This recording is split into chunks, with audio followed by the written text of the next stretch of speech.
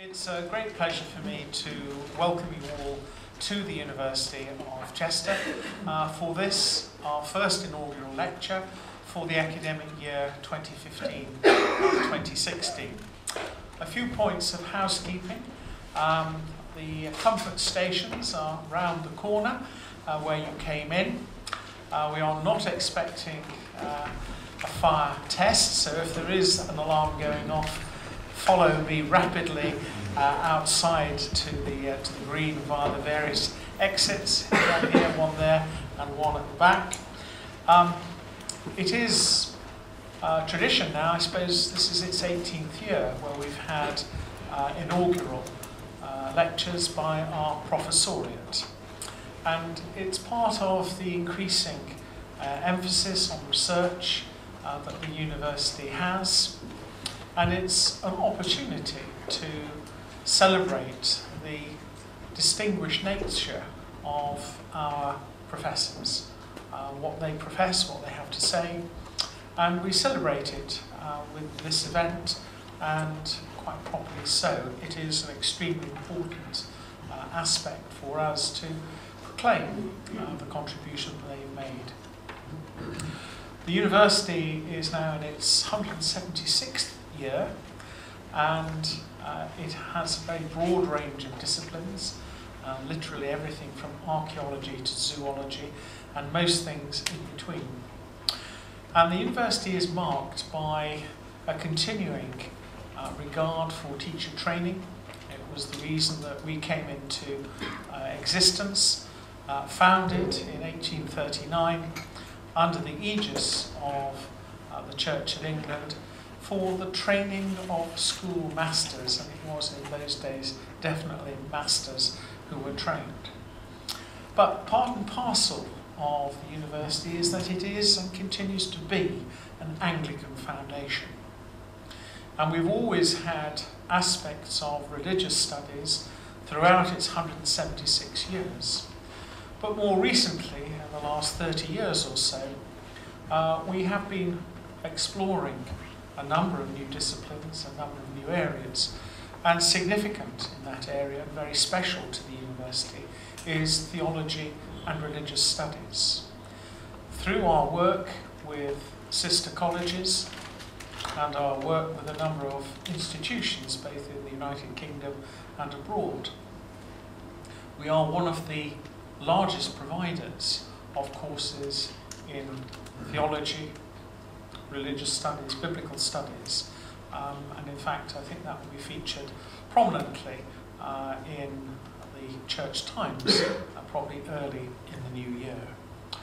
But as I say, these occasions are very much about giving an opportunity to distinguished colleagues to engage with an audience, some of which will be highly knowledgeable of the discipline, Many, like me, will not. And it's a, a challenge uh, for any inaugural lecture to mm. capture those two uh, extreme wings, or uh, that kind of uh, broad church in every sense of the word. It gives me great pleasure to call on my colleague, uh, our Executive Dean of the Faculty of Humanities, uh, Professor Ron Warner, to introduce our professorial inauguree.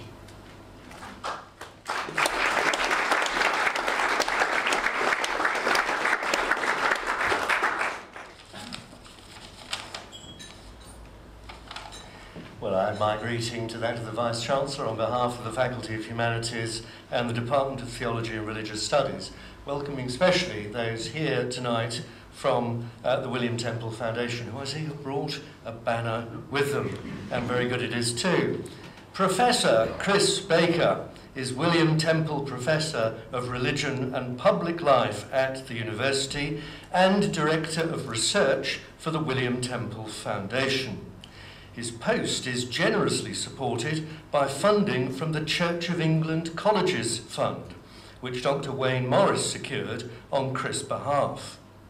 Chris completed his doctoral thesis on religion in new towns in 2002 at the University of Manchester His early postdoctoral research explored the role of churches in urban regeneration areas of Manchester, from which he developed ideas of spiritual capital as the energizing and motivating force that generates faith-based social capital.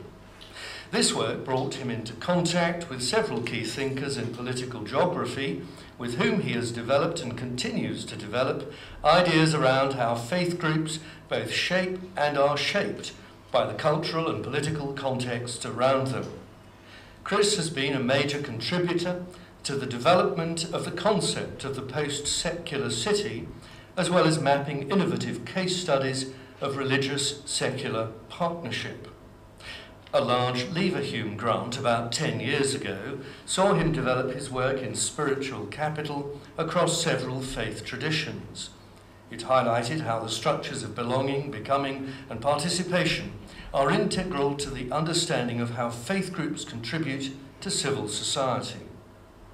These ideas have taken him into new collaborations with both philosophers of religion but also social policy experts, attempting to understand how we might create a renewed understanding of religion fit for the 21st century in all its ambiguous complexity. He is also committed with his colleagues in the department to developing a public and political theology that engages critically but fluently with the intense social, political, and economic shifts that characterize our current age. His latest AHRC research project with Professor Adam Dinham at Goldsmiths College, University of London, is entitled Reimagining Religion and Belief for Public Policy and Practice.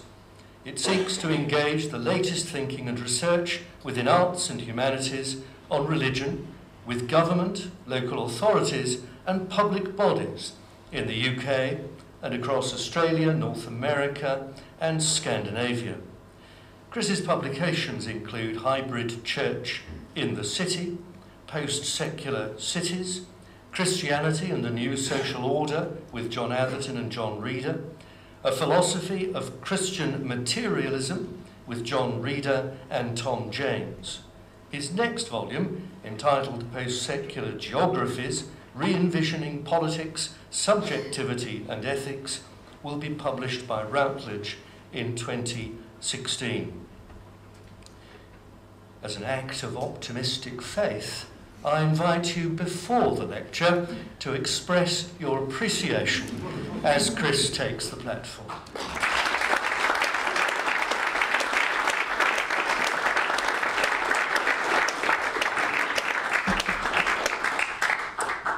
Uh, Vice Chancellor, Dean, distinguished guests, colleagues, friends and family, thank you so much for coming this evening. And I know some of you have come a considerable distance so a special thank you to you. I'd also like to take this opportunity to thank both the William Temple Foundation and the University of Chester for co-funding this professorial post and giving me such an interesting and full life. This post represents a growing partnership between two institutions who are both committed to empirical and interdisciplinary understanding of how religion is lived and performed in the public sphere in ways which address both those inside as well as outside faith communities. Finally, I'd like to thank the University for this sumptuous occasion and in particular to Jenny Westcott, who has done such a great job organising this event. I speak as a public theologian shaped by the Christian tradition but shaped by many other things besides.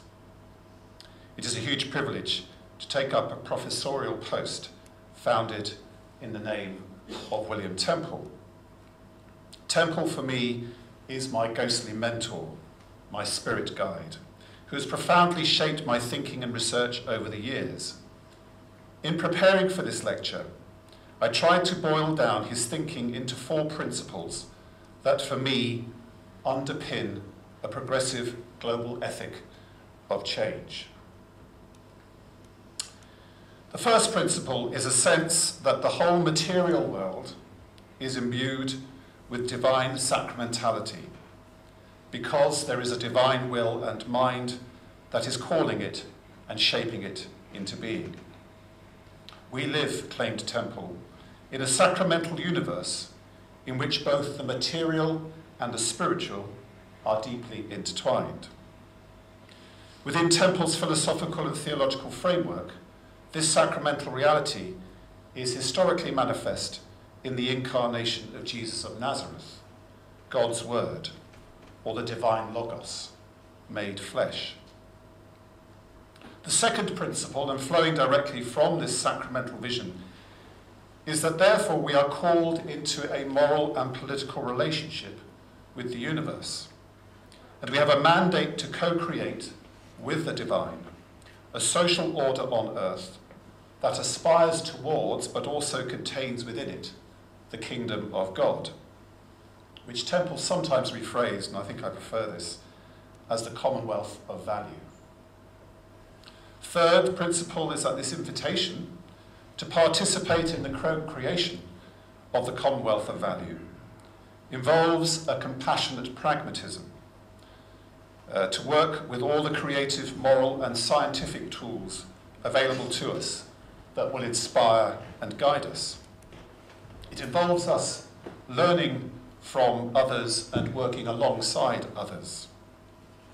Temple called this a vocation of service.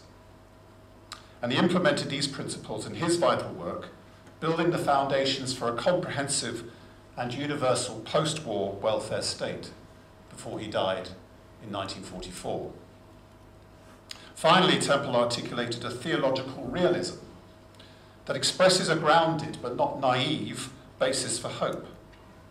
For him, human propensity towards evil threatens to undermine, but never totally extinguishes, the excess value we create when we work together to co construct the commonwealth of value. Such a realist perspective acknowledges the messiness and complexity of the task of co-creation, what it involves on the ground. A situation that requires what my friend and colleague John Reader has brilliantly defined as an openness to engaging in multiple and entangled fidelities. For me, Temple's well-founded pessimism in human motivation is held in tension by the wider and more long-term processes of divine love and disclosure he envisaged. So with some of these uh, key temple ideas as a framework, I will now seek to deconstruct my somewhat lengthy lecture title into four, I hope, manageable parts. An uncertain era, globalized religion, progressive change, and a new global ethic. An uncertain era. I think it's fair to say that we do live in an era of uncertainty. There is political, social, and technological uncertainty, but underpinning these things, I suggest, is a deeper moral and philosophical uncertainty. Since the turn of the century, we are deeply aware of a number of existential threats posed to us for example, climate change, including rising sea levels and droughts, and the consequent displacement of people seeking consistent supplies of food and water. Growing fear of global health epidemics caused by new proximities and connections that are no respecters of jurisdictions or borders. Growing social and economic inequality and the profound lack of social trust and cohesion that generates. International, global, and state terrorism, much of it religiously based, and deploying global media to emphasize its hideous levels of barbarity. And growing global migration, much of it produced by the threats I've just mentioned, but also driven by capitalism and its need to maximize efficiency and flexibility within a single real-time market. Closer to home, many in the UK face huge amounts of stress and anxiety, directly associated with insecurities around unemployment, relationships, poverty, housing, personal safety, and professional attainment in an increasingly competitive world. One major contributor to human stress and anxiety is social isolation and loneliness. A recent survey put the UK at 26th out of 28 EU countries on the loneliness index. Change, flexibility, multitasking, seen the new norms that are built into the fabric of everyday life. But so is uncertainty about the future.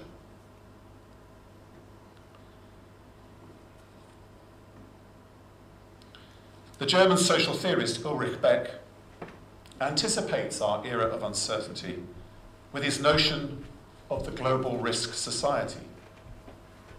His core idea in a book called Risk, The New Modernity, published in 1999, was that the old and predictable modernity of the secular Enlightenment was giving way to a new modernity, which was much more complex and, above all, full of unintended consequences. Because of the deeply interconnected ways the world was being joined together, i.e., through the World Wide Web and closer integration of financial systems, these unintended consequences can now go viral. In fact, Beck says, the unintended consequences now grow at a faster rate than intended ones. He calls this new modernity reflexive, by which he means that the impact of our actions rebound on us, interfering with our original aspirations. These unintended consequences pose risks or dangers that sit alongside or are enfolded in our human belief in unlimited growth and development. He was particularly vexed at issues like the growth of pollution in the 1980s, which he accurately predicted would create the conditions for climate change, along with the viral distribution of financial risk, which he describes as the financial of bads, not goods. He concludes that this complexity and fluidity that we have allowed to be built into our systems has created a new global order which we are no longer which we no longer have the means to describe or indeed control.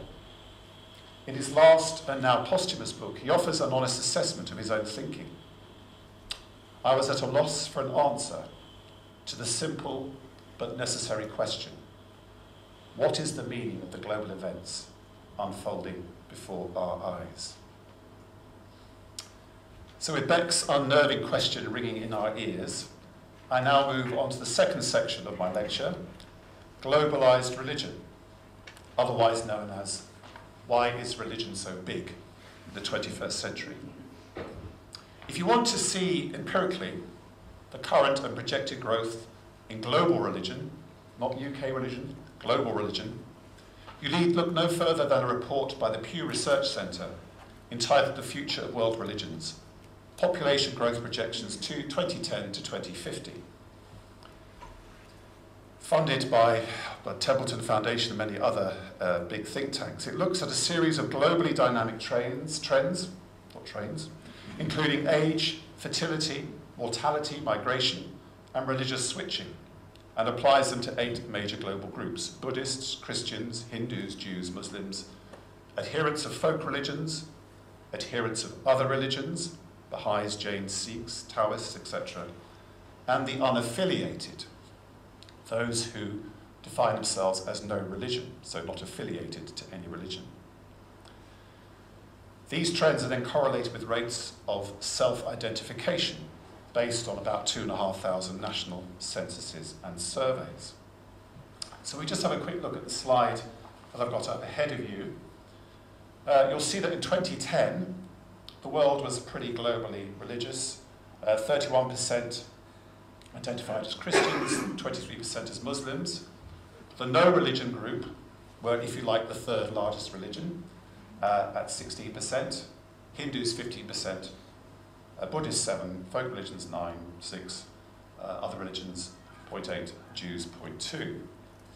So the total um, percentage of the globe, globe citizens uh, for religion is 84%. Their projections for 2050 actually shows that that already globally large percentage of religious citizens will actually grow to 87%. Uh, Christ, the Christian bloc, if you like, will remain broadly the same. Uh, the Muslim communities will rise to nearly 30%. The unaffiliated, those of no religion, will drop by 3% globally. Uh, and the other faith sections stay broadly similar. This global picture becomes more complex in a minority of Western countries, which will see continuing numbers of citizens switching from mainly Christian to non-affiliated identities, i.e. no religion.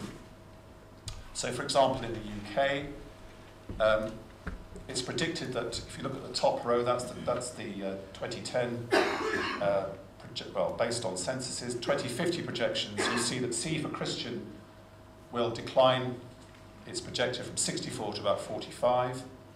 Uh, the Muslim community will increase by about 11%. The non-affiliated will rise to nearly 39%.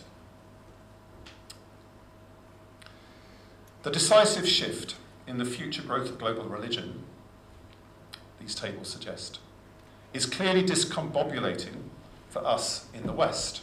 I'm Glad I got that word out right. One of the key assumptions of secularization theory was that as the world became more modern, measured in the development of technological innovation, scientific advancement, and industrial and urban expansion, then religion would correspondingly decline in both intellectual and political power.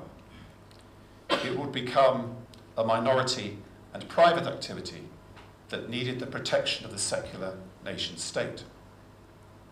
So one intellectual challenge immediately required by a new progressive global ethic, which is the topic of my title of my uh, lecture, is to understand that modernity and religion can and do exist side by side. And we need to find new ways of understanding how this happens and how we can make that relationship work. This message is essentially the challenge issued by both Jürgen Habermas and Ulrich Beck, who I'm going to use in this section. Both influential exponents of European social theory that emerged from the influence of the Frankfurt School of Marxist sociology. Both insist that we need a new definition, or rather a new imagination, of what modernity is. That for me is the very exciting question. A new imagination of what modernity is. One that fits the conditions of the 21st century rather than perhaps harking back to the 19th or 20th. Beck as we have already seen with his idea of the globalized risk society, talks about two modernities. Modernity one, he characterizes as ends means rationality, interests, classes, the market, science, and socially constructed nations, which distinguish themselves from other nations and welfare states. A key assumption with this, within this model of modernity is predictability namely the unshakable correlation between cause and effect, research and truth. Historically, this modernity emerges towards the end of the 17th century as Europe comes out of destructive religious wars up to the mid-20th century. Accelerating from the end of the 20th century into the 21st is what Beck calls modernity 2. This is modernity as globalization, which intensely and vigorously attacks all barriers and hierarchies erected under the auspices of modernity one. So Beck's definition of modernity two, it refers to the erosion of clear boundaries, separating the markets, states, civilizations, cultures, and the life worlds of different peoples and religions, as well as the resulting worldwide situation of an involuntary confrontation with alien others.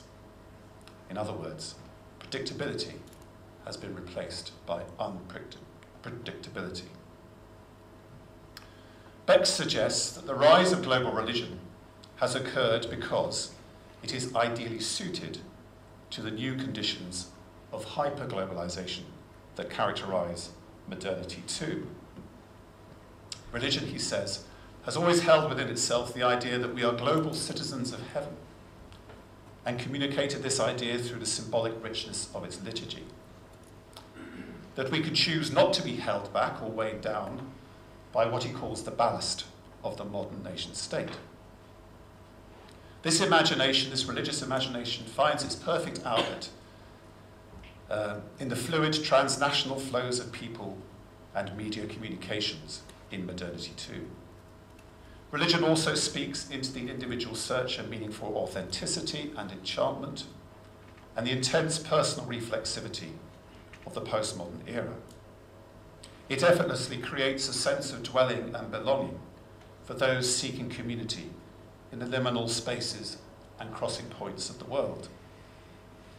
As Beck wryly observes, the unintended consequence of modernity one is that it released religion from the shackles of both the nation state and the responsibility for finding answers to intractable moral problems and doing things like running politics and economics. Religion, therefore, becomes free, to become the free floating agent so perfectly at home in the deterritorialized spaces of modernity two. Beck suggests that the modern liberal democratic state, the love child of modernity one, if you like, is simply at a loss to understand this new modernity that it has bequeathed, and even more of a loss to know what to do about it. This is Beck's striking conclusion.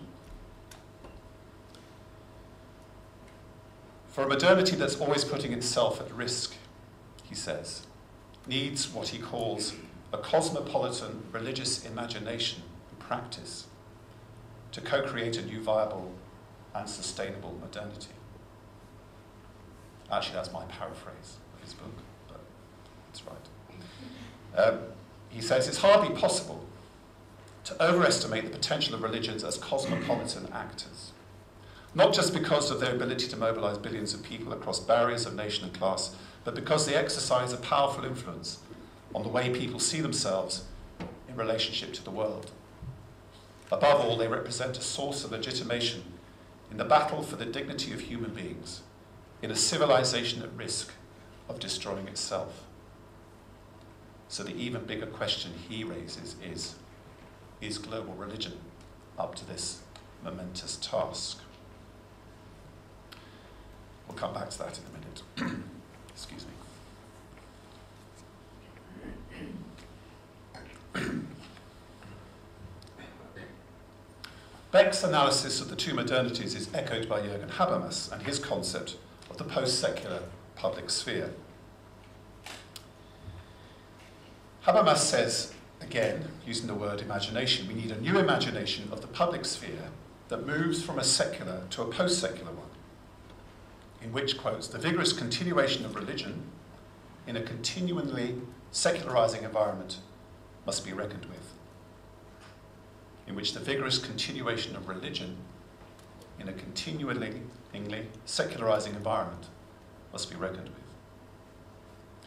Like Beck, he believes that the liberal democratic state no longer has a deep and resilient enough ontology that can command the loyalty and deep participation of its citizens. And without that, he says, it dies. He says the, the, the um, modern liberal democrat, liberal state needs to rediscover the wisdom, discernment, and discipline that are linked with religious sources because they are pre-political. They are independent and self-generating, outside the power of the newly diminished state and the ever-voracious market. We need to reframe, he says, the relationship between faith and reason from one-way domination by the one of the other to something that is more symbiotic. And I'm afraid there's not time to go into what he means by that. Attractive though it is, I think Habermas's post-secular vision of a reimagined public square is still over-indebted to modernity one, i.e. the notion that we can control the public sphere with a kind of Kantian appeal to universal moral laws and principles that rely on the assent of all. His vision, I think, is rather too static and cognitive a view of the public sphere, rather than an organic and dynamic one, uh, which can come to terms with the diversity and hybridity of our globalized world, modernity two. Indeed, my good friend and colleague Elaine Graham in a prescient critique of the whole post-secular debate, points out how much of the debate over a new post-secular public square is rooted in over-rational and abstract ideas. As a feminist theologian, she asks, where are the embodied and practical application of these ideas? And where are the voices and ideas of women who have been both silenced by religion and secularism? The post-secular debate, she says, is an opportunity to acknowledge and correct the often hidden gendered nature of our thinking about faith and reason, private and public, sacred and secular. So with Elaine's challenge also ringing in my ears, I now move to a more practical element of my discussion. In other words, what does a new global ethics of progressive change look like in practice or in, in an embodied state? So, on to my third section progressive change. What do I mean by progressive change? what do I mean by the word progressive? Well, this is an easy bit. This is a quick section. I say easy. Um, the word progressive, like community, is a much overused and overhyped word, frustratingly imprecise. I'm using the term in a straightforward way to simply mean outward looking or outward facing. For me, a progressive view of the world is an outward facing and outward looking view. I'm influenced in this use by a concept called progressive localism, a term that emerges from political geography. It defines a vision of a vibrant and flourishing civil society based on cosmopolitan global ethics. David Featherstone et al. define progressive localism thus. Progressive localism is outward looking and creates positive affinities between places and social groups negotiating global processes. These processes are expansive in their geographical reach and productive of new relations between places and social groups and can, possibly, reconfigure existing communities around emergent agendas for social justice, participation and tolerance. So that's the progressive bit done. Uh, the next 20 minutes or so is uh, the new global ethic. In his book, A God of One's Own, which is, what, which is what I've been drawing extensively from for this lecture, Beck highlights the fact that both violence and tolerance are historically endemic within religion. Religion, he says, responds to change and diversity in one of two ways. One is universalism, which is really only a form of fundamentalism that insists always or usually through the use of coercive violence on a single narrative and identity to which everyone else must, to varying degrees, conform. Of course, as he points out, secularism and the nation state are perfectly capable of acting like bad examples of monotheistic religion. So universalism is really the idea there's only one idea in town. Or religion can face towards cosmopolitanism, which he describes thus. The cosmopolitan vision is based on the actually existing historical impurity of world religions. The recognition that they are intertwined, that they are both one and the same. Learning to see and understand ourselves through others' eyes does not mean that religions must sacrifice their own special nature, nor does it mean that they must all merge into a decadent, value neutral, secular relativism. On the contrary, he says, they enrich their own religiosity, mutually reinforce one another, and in this way, they can practice and develop anew the public role of religion in the post secular modern era. So I want to embellish Beck's description of cosmopolitan religion by picking out two dimensions of cosmopolitanism, sorry for this long word, uh, from my own and others' work, before applying it to three interlocking levels. Cosmopolitanism at the individual or micro scale, at the locality or meso scale, and at the global or macro scale. The two dimensions of uh, progressive cosmopolitanism. The first is performativity and pragmatism, in a way going back to Temple. Beck's emphasis on the words practice and develop anew in the last quote highlights for me the necessary performativity of a new global ethics. We are not going to understand what it is through great abstract ideas or theories, or at least not in the first place. For me, and the research I've done for many years, mapping and analysing how ethics, values and beliefs are actually cashed out and performed in public spaces in often innovative and creative ways has long been a way by which we anticipate what politics and ethics will look like in the future. The idea of performativity also carries with it ideas of improvisation and experimentation that I like, and which restore for me the original meaning of the philosophical idea of pragmatism. When it comes to a post-secular progressive ethics, we will only know what it looks like when we do it, and when we see it resonate across other spaces and networks. My second dimension is deconversion. Practice and experimentation involve a certain amount of deconversion. In other words, a deliberately loosening, a deliberate loosening of our cultural, political, or religious worldview, but not a jettisoning, but a loosening. Deconversion is a term I've picked up from James Bielo's work on intentional Christian communities in the States, sometimes called the New Monasticism. These new emergent lay communities are planted in either very poor inner urban districts or the cultural wastelands of the exurbs by growing numbers of evangelical Christians. They are seeking a more authentic, challenging, and embodied form of religious identity and discipleship. According to Bielo, deconversion involves a rejection of the cultural frameworks of evangelical Christianity its obsession with materialism, and maintaining inward looking subcultures at the expense of transforming wider society. They are also deconverting from a narrow biblical literalism that represents a superficial form of Christian discipleship, devoid of challenge and engagement in the complexity of the world.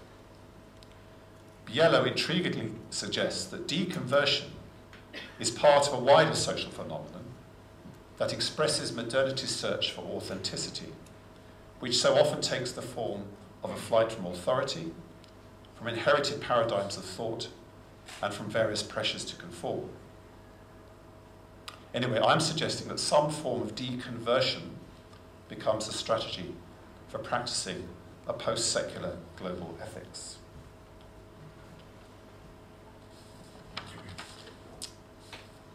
With these ideas in mind, I now turn to my three levels or spaces of progressive cosmopolitan ethics. The micro, the meso, the macro, or if you prefer, the individual, the locality, and the global. First of all, micro. Clearly, a cosmopolitan progressive global ethic has to begin with us as individuals. As I've just intimated, I believe it involves practicing an element of deconversion being prepared to experiment and occupy new intellectual and political spaces, offering both intellectual and emotional hospitality to others, but from within the wells of our own values and beliefs. This wellspring of values and beliefs I have called spiritual capital. In all scenarios of cosmopolitan ethics that I've investigated, we invest our spiritual capital with and alongside others for the sake of making an intervention for change, but also so that our own wells can be replenished. Spiritual capital, as the wellspring of our values, beliefs, and attitudes, is a vital component of a performed cosmopolitan global ethics because it can deeply influence the way we act in the public sphere. Current upheavals in Europe suggest that progressive or outward looking spiritual capital is not the problem. There is a vast potential reservoir out there. Many people want to express actions and sentiments of cosmopolitan solidarity. But this cosmopolitan solidarity is fragile and needs nurturing. It is often physically prevented from coming to fruition by the organs and rules of the state, or discouraged by a media narrative that portrays fellow humans in need as scroungers, opportunists, or terrorists. One example of micro or individual cosmopolitan ethics that is merging uh, is from the borough of Hackney, where I live. Good old Hackney. The Mayor of Hackney, as part of the borough's official response to the crisis in Europe, has approached Hackney citizens, part of the broad-based community organising network made up of faith groups, schools, colleges and trades unions, to conduct an audit of its many hundreds of members to see who has got accommodation, even a single room, that it can offer, that it, the council can offer to Syrian and other refugees. Next space, the meso or locality. Faith-based welfare projects and other impromptu community projects are also spaces where citizens can express and perform progressive spiritual capital. My research tracks how these spaces, for example food banks, have heightened in political significance since 2008, not only as spaces where welfare is delivered with tact and compassion, but also where people meet to discuss the deeper structural reasons for poverty and inequality. In other words, these spaces are not only spaces of welfare delivery, but also spaces of interim community, or communitas, as Victor Turner might have said, between clients and volunteers, as well as spaces of political conscientisation. I call these spaces, well, I'm beginning to call them, the one-stop shop for a new cosmopolitan politics. Here is a real case study which I hope illuminates this idea of a one-stop shop. A Muslim-run food bank called Sufra, which has recently opened in the London borough of Brent. You can hear more of this case study on the William Temple Foundation website, and the address is there on the screen. Uh, this was part of a, of a um, conference that we ran, looking at case studies of faith-based uh, welfare. Sufra is a polyphonic Middle Eastern word which has connotations of tablecloth, dining room, space of hospitality. 90% of the people who access their services are non-Muslim. His first client was a young man named Stephen, who on being given a bag of food had no idea how to cook it. This led Sufra to run and devise a 10-week cooking course for its clients, which is now an accredited training scheme for 16 to 25-year-olds in catering. 25 people have successfully found work as a result. Sufra run a vegetable box scheme, providing fresh produce at wholesale prices, and has started various food grain projects. 50% of Sufra's funding and resources comes from other faith groups, including local Catholic Church and the Jewish community, as well as a multi-faith workforce. And it has a multi-faith workforce, including people from non-religious backgrounds. Meanwhile, Sufra volunteers have been trained by staff from the council's housing department to offer advice on housing needs, something never seen before in Brent, apparently, and a radical change. Sufra was also a venue for pre-election hustings, where the issues of food poverty and homelessness were centre stage. Sufra's director, Mohammed Mamdani, says the project feels like the end of the road for many who step across the threshold for the first time. But he wants it to be the start of a new journey.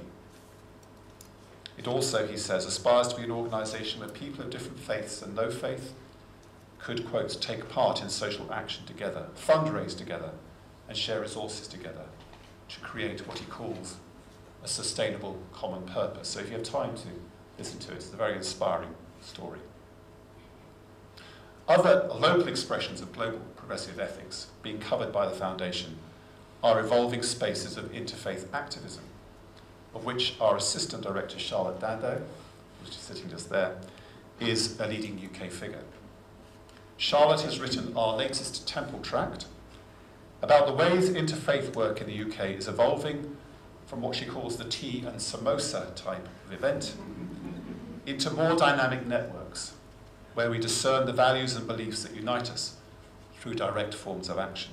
Charlotte writes, when interfaith work heads down the path of we're all the same really philosophy, it not only ignores the phenomenal and rich histories, the intricate and established practices, and the most deeply held convictions of each and every religious tradition, but it also misses an opportunity for spiritual growth, for deeper understanding, and our mutual transformation. But in order to do this, she says, truly safe spaces and truly inclusive forms of interfaith work must be fostered. For me, the key word out, or key words out of that quote uh, is the idea of mutual transformation. Finally, the macro. You're doing very well.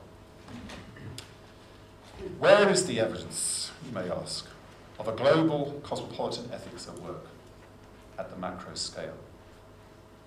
To address this, I refer to a major template being developed in the work of my friend and other mentor, Professor John Atherton, who's very much alive, I'm pleased to say.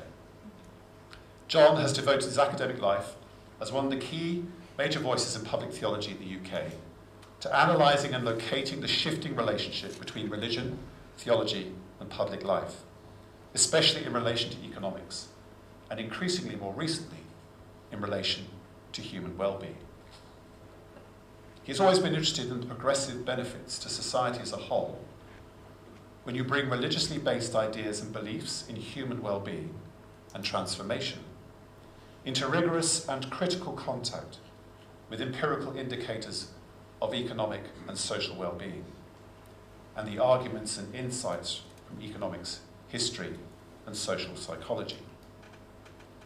This is precisely the aim of John's latest book, Challenging Religious Studies, the Wealth, Well-being, and Inequalities of Nations. He reminds the religious studies world of the extraordinary contributions made to human well-being and development since the 1800s by economics and scientific development. What he calls, after Fogel, cycles of techno-physiological change. Think of the advances in human life expectancy, health, and well-being, and the lifting of billions out of poverty, which then allows them potential to live creative and fulfilling lives. But there is also a profound paradox lying at the heart of this exponential growth in human development, which is growing inequality between and within nations and its knock-on effects, including increased social and mental stress and breakdown in community trust that growing inequality brings. Part of the reason for this paradox, John suggests, is that economics has become disconnected from its moral and ethical roots, what Adam Smith called the moral sentiments preferring instead to see itself as a quasi-positivistic science based on supposedly rational predictions about human behaviour and preferences. So this is where John says religion has a great deal to offer. It offers more realist insights into the complexity of the human psyche and soul, and the practices and outcomes of real happiness. But it also offers the necessary moral energy and vision to work for progressive change. Thus, John is arguing for a reconnection or reconvergence of disciplines and insights, particularly between economics and religious studies. He calls this interdisciplinary approach the art of living in more than one place at once. In other words, being able to see and inhabit the world from a perspective other than your own. But also see that second quote, we should be sensitive as seasoned travellers, at ease in many places, but one must have a home. John's book extrapolates his theory of how historical cycles of waves in which religion, politics and economics have combined to progressive global effect with the case study of the United States. During three cycles from roughly, 70, from roughly 1730 to the present day, the notions of equal rights and happiness, with a Y, so central to American democracy, were framed and developed and subsequently embodied in the abolition of slavery in the 19th century and the birth of the civil rights movement in the 20th century. John says there are three stages to each one of these waves. The start of each wave is triggered by a period of turbulent change, war, revolution, or economic crisis. Political and economic upheaval is reflected in individual stress, with people feeling that they are losing their bearing and identities.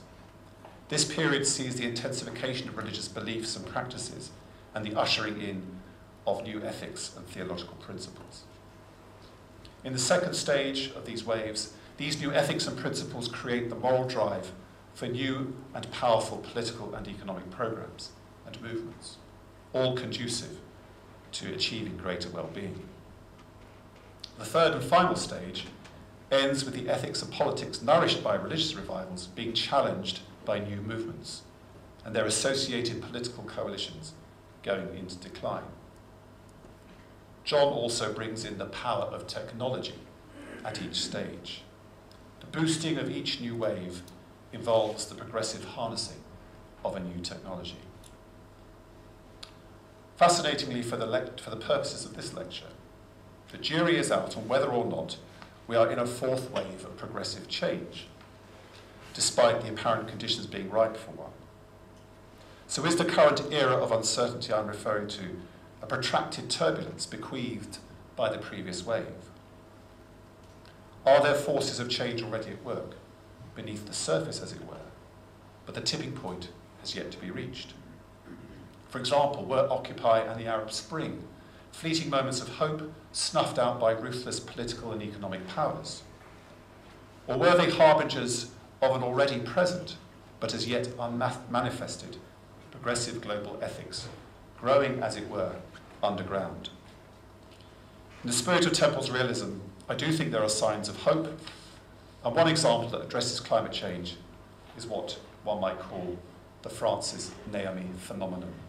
So I'm going to end with this case study of macro global progressive change. The end is in sight. Earlier this year, the Vatican launched Pope Francis's much anticipated encyclical on climate change, simply entitled Laudato Si, Praise Be. It calls for swift action to save the planet from environmental ruin by linking climate change to poverty. Based on both theological insights and the latest scientific modelling and research, it is a vision for the common good, which Francis hopes will shift our political culture away from short-termism and a throwaway economy that produces waste and a disregard for human and non-human life. The huge issues posed by climate change are not ultimately political, he says, but moral. The Pope suggests we persistently make the wrong choices. Instead of respecting the norms of scarcity and balance and choosing to live a simpler and therefore more fulfilling life, we refuse to accept any limits to our right to choose and consume. Part of the political momentum created by this document is the way it has garnered rave reviews from the secular media and commentators, including Naomi Klein. Klein is a global environmental equal rights campaigner.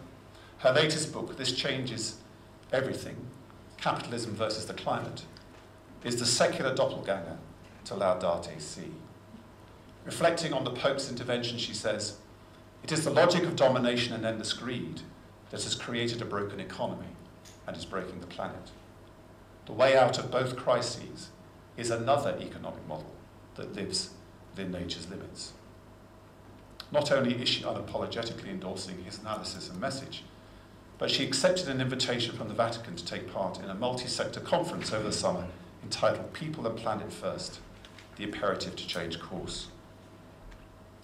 Why this might work as a macro case study, I suggest, is that both activists, if we can call them that, have practiced a partial and strategic deconversion of their worldview in order to create a new creative space for ideas and action to emerge. Let's be clear, this is not an uncritical merging of the Catholic Church and the climate change movement.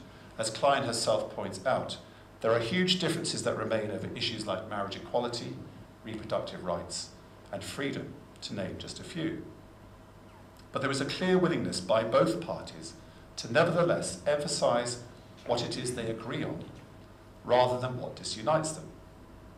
For me, it is an exciting example of a new post-secular global ethics, where scientific arguments, secular activism, and deep philosophical and religious wisdom are brought together in compelling resonance.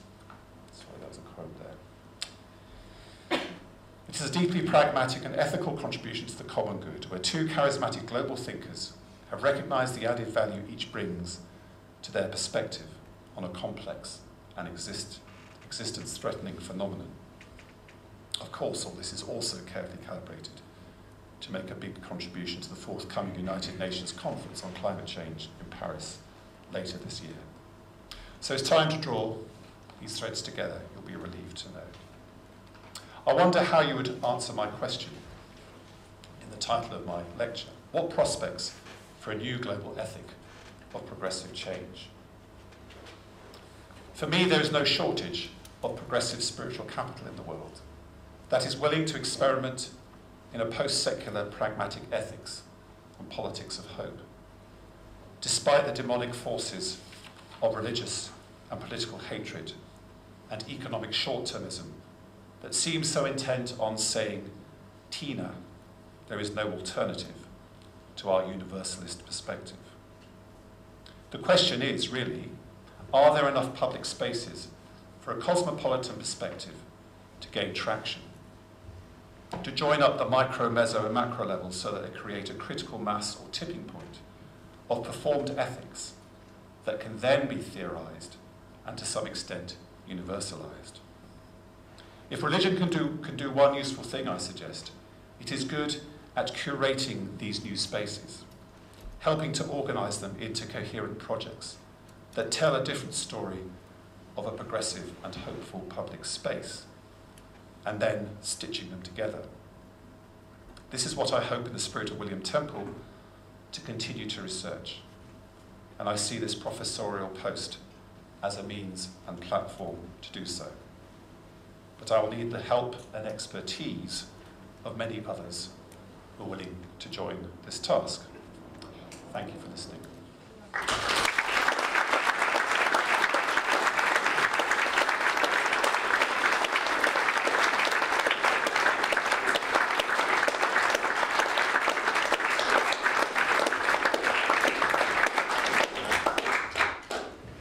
So uh, Elaine Graham, Professor Elaine Graham, who first introduced this university to Chris, is our respondent tonight. But I've negotiated with Elaine that we will take your questions first. If you could indicate whether you'd like to ask a question, and that will tell me whether we need to group them because limited time is available. So if you think you'd like to ask a question, please raise your hand.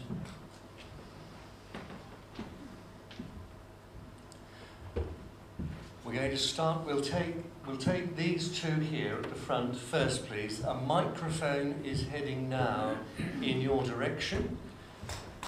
If you could ask, they're both down on the second row here, in the middle. Just pass it along, thank you very much. If you could, as succinctly as possible, please, express your question. I will only intervene if your question's too long, and Chris will then respond. Lecture that um, set off a lot of thoughts. One of the thoughts is, um, you think progressive change must also be transgressive. Thank you, Chris. I go along with much of what you say. My question is, what is your definition, if that's the right word, of the category religion or the religious? You started off with statistics, which was about basically religious identity census questions. But obviously, religion is much deeper than that in its great things and its spiritualities and so on. Chris, take the microphone.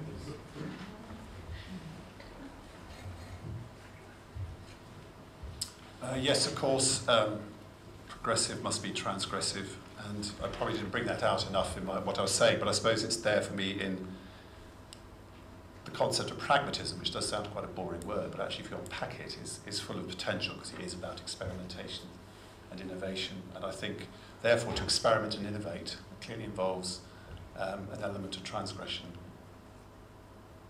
And the idea from Greg about, well, how am I using religion? Um, I suppose I'm using religion as a, uh, in, in very much influenced by Beck, as a kind of global actor, political, cultural, uh, force, if you like, that's within the world that is expressed both in terms of how people of faith practice their religion is also expressed in terms of um, an imagination, an imaginary.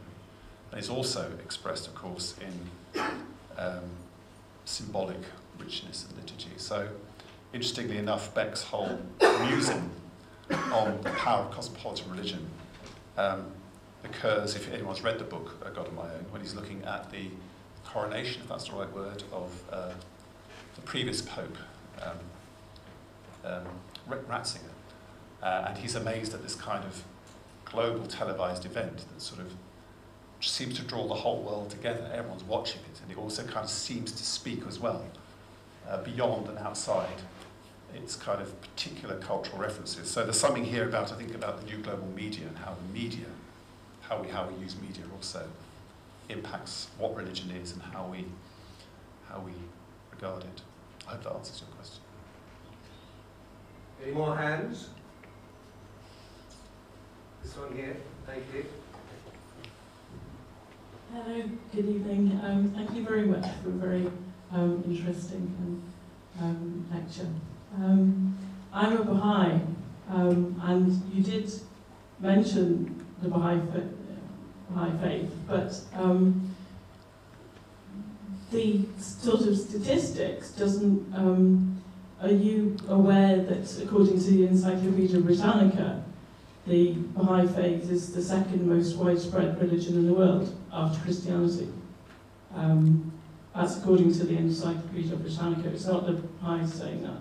No. So, um, and, you know, the Baha'i faith um, um, promotes, you know, one God, unity of religion, and unity of mankind. So, um, how do you think, where, where do you think the Baha'i faith um, or the Baha'is can, and we would very much want to um, help you in your, um, to, to harmonise the world, to, um, to make more unity in the world. So, Thanks very much. Yes. Um, to work with- well, thank you for correcting me uh, on, on the Baha'i statistics. I mean, I was only using what the, uh, what Pew Research Foundation had discovered. Um, yes, I'm sure the Baha'is faith does, in kind of in a way, epitomise and embody a lot of what I'm saying. I suppose a word of caution to myself, which certainly Ulrich Beck is very strong on, but also I think uh, Charlotte brought out in her quote, is that this isn't a kind of um, annulling of difference. This isn't a kind of um, you know, washing away what, what's, what's, what makes us different. Um, and one of the reasons why I found, I think, Hans Kung's approach to trying to devise a global ethic, which was to look at all the sort of scriptural traditions of all the world faiths and find out what was their common message. Um, and the message was, well, the golden ethic, you know, treat others as you'd like to be treated yourself. That didn't seem to really generate much political purchase. And the main critique, I think, of that is that it kind of, you know, just merged all religions into one kind of amorphous mass. So if we're talking about um, a progressive, global, ethical, cosmopolitan uh, ethic, we've got to maintain those, those identities, but, but, but try and turn them into a, a cosmopolitan direction rather than what, what Beck would call a universalist perspective, universalism perspective, where your identity and your version of the truth is the one that everyone else eventually has to come to.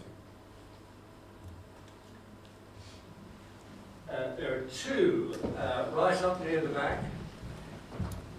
We'll send those with microphones or vigorous exercise.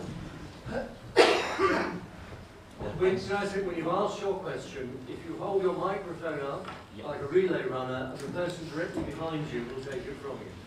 Excellent.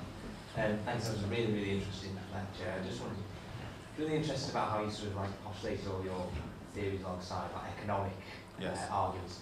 I just wanted to sort of get your opinion on, do you, are you, are you worried that maybe um, this new global ethic could be sub subsumed under sort of productivist uh, ethics? So, for example, um, could the forces of capitalism, which, like Naomi Klein says in her book, are so strong, and uh, indeed talks about people like Richard Branson who sort of uh, subsumed, who are capitalists, but have the message of environmental responsibility, like, while doing nothing about it.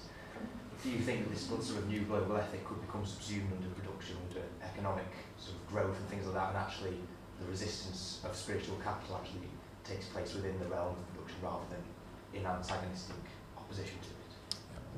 Thank you very much. It's a very good question. And um, one of the main criticisms I always face when I use the concept of spiritual capital is they say, well, how can you put you know, a monetary kind of noun against something called spiritual? But I, I hope I've managed to show that it is you know, a vitally important element of social capital, human capital and economic capital. Uh, yes, there is always that, um, there's always that temptation. Um, but I do think that um, this is, for me, the way to answer that was my last point, is, is if there are kind of individualistic, you know, uh, alternatives presented, then they can get quite easily picked off. Um, uh, but I think what I'm trying to propose, and I've no idea how to propose it, because if I did, I guess I'd be you know, getting the Nobel Peace Prize or something. but somehow we've got to have a vision that joins up all these different um, uh, spaces of performative cosmopolitan ethics. Um, so that it then becomes a critical mass, and then that, that becomes a new, the basis of a new theory. So I, I very much am with you, Rebecca. I think you know we, we need a kind of modernity three, and that new modernity will only be forged when we co-create, uh, as Temple says, you know, a commonwealth of value.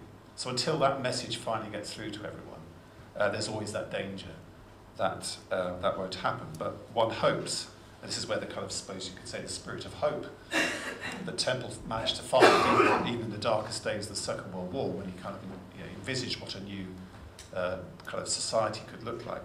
The hope is that there's always that potentiality that's beneath the surface that will emerge. Um, but what's interesting for me is the way that religion uh, seems to be much more uh, acutely aware of, of its role, hopefully, that it can do to, to kind of create these new spaces of, of cosmopolitan ethics. That's, that's the argument I'm trying to make. Thank you for your question. Um, hi Chris, I'm hi. I managed hi, to Haley. keep the M56 and get for the start of your lecture. Um, I've got two questions for you. Um, the first question is, if we are uni universalising performed ethics, then uh, and we want to maintain that cosmopolitan um, difference amongst people, how do we draw in things such as um, Eastern philosophies and religions, uh, or, or are we talking basically about a very uh, European US paradigm here? Um, because if we're going to maintain all of that, how do we then begin to universalise? Um, and then my second question is, what do you think those public spaces are going to look like in which we begin to inhabit this and explore it? Thank you. Well, I'm very aware, and this is why I positioned myself right at the beginning of the, uh, the lecture as, as, a, as a kind of Christian public theologian who's, who's open to all sorts of other influences, but I'm not a, a, an expert on other religious traditions. When I said at the end, you know, I, I think I certainly need um, a lot of help and guidance from other people. I was really primarily thinking of uh, my colleagues in the religious studies department here at Chester, who, if, if this resonates in any way, with their kind of understanding of their own religious tradition that they, that they have intimate knowledge of, then we can begin to, if you like, unpack what that means, what this kind of new vision and politics means from within the Baha'i perspective, uh, a Muslim perspective, Jewish perspective. I mean, I know, I know work has been done on that, but um, I really concur with, with John, John Atherton that the, religious studies has really got a, a really good opportunity to, to do some very exciting creative work around this agenda. Um, so I hope that happens very much. And the new public spaces, well, um, I tried to give a couple of examples with, with the food bank, so for Food Bank. Uh, if you read Charlotte and Phil Lewis's latest Temple tract, Charlotte has a couple of really good case studies, one called The Feast, uh, and the other called the Intercultural Leadership School, for me, the locality is that the middle space is actually where um, individual ideas come into play and hopefully then begin to have a kind of global impact. So the space globally, uh, for me, was, was, was this case study of, of the Pope and uh, Naomi Klein. I mean, who would have thought a year ago that would have happened? Uh, and it, it's kind of intellectual space, it's a political space, it's not necessarily a, a space place, if you see what I mean. But I think it, you know, we have to look spatially, but we have to look intellectually at where these new uh, forms of thinking and, praxis are emerging. Do you have any ideas? Did you have anything in your mind when you No, I'm just interested to see if you if it got as far as that and you're form, formulating that thinking about what that might look like. Not yet, but hopefully the late the, the book that um, Rob alluded to. I'm writing with two um, very creative uh, human geographers who have got a lot more knowledge and understanding of global contexts where this is happening. So, um, and we've got a call for papers as well at the next um, American Associated American Geographers in 2016, which we hope will attract uh, papers from other contexts, not just Christian or Muslim ones. Thank you. So the clock is now speeding, I'm afraid, towards a glass of wine. Soft drinks are also available in the foyer. And so we don't have time for more questions, but we do have time for me to invite Professor Elaine Graham, our respondent, uh, to give a vote thanks.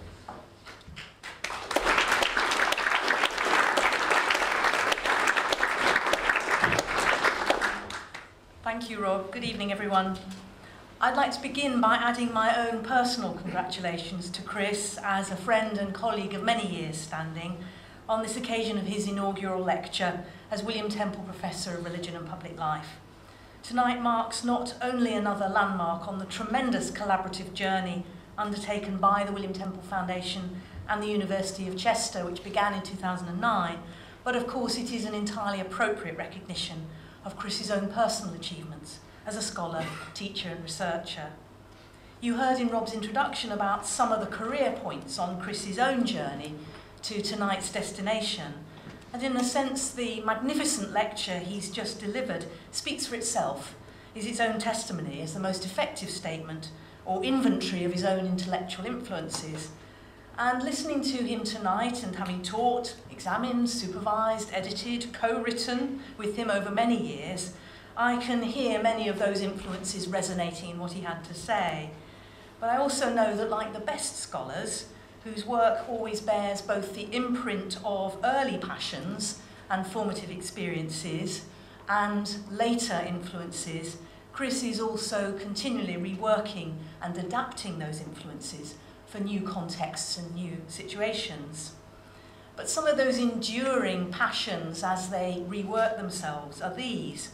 Firstly, his enduring love of literature and poetry. I think of his secret love of R.S. Thomas, which in later years has taken him into areas of popular culture and latterly an interest in screenplay writing, all of which reflect a key characteristic of his work, I think, which is an interest in narrating the storied nature of human lives and landscapes. Thinking back to when I first met him, when he was completing his PhD with Professor John Atherton, and it's such a, pleasure to have you here tonight, John. Uh, Chris's PhD on new churches in Milton Keynes. There was already that fascination with the way social and economic relationships were shaped decisively by space and place, and how our sense of sacred space is so fundamental to the way we inhabit the built environment. And whilst he often seems to fit, sit fairly lightly to its institutional forms, Chris, I think, does have an attachment to the possibilities of religious faith as transformational, hence his work in Spiritual Capital, and especially the ability of religion to motivate and mobilize people to journey out beyond their own boundaries and work with others in building the common good. I think you heard a lot of that tonight.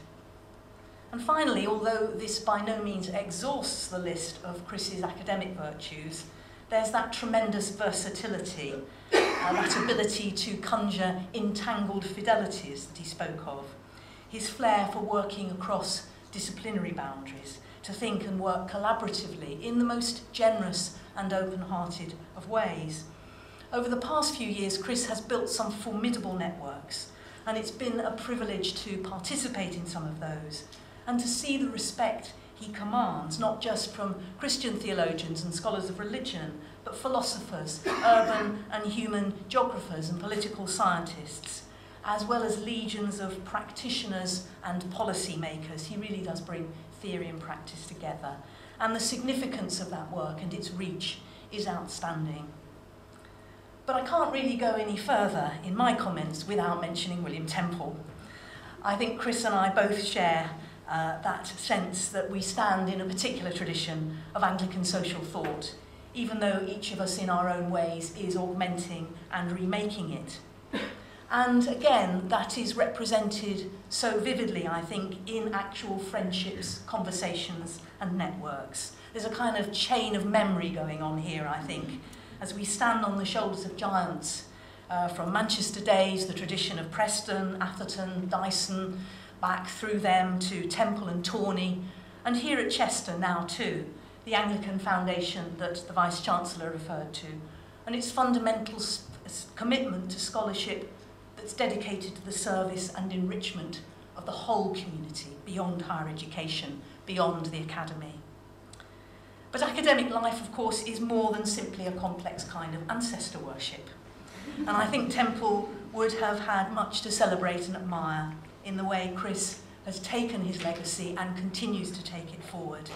That incarnational, activist, and liberal spirit of Christian realism, liberal in its best sense, dialogical, collaborative, rooted in but not held captive to its traditions, and a way of doing theology that's deeply committed to enabling the voices and energies of faith to speak clearly and decisively into those common spaces of our public life.